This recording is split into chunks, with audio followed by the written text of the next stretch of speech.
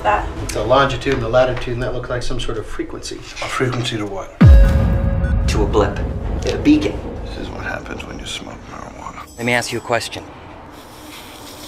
Oh. Are you ready for your minds to go? Wait!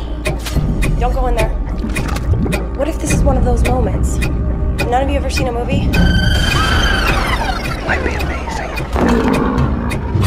The only way that we're gonna live is to go through that hole.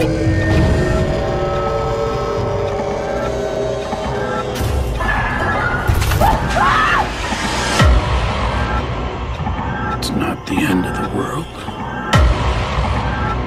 It's the beginning of a new one. See if you can stay off the menu.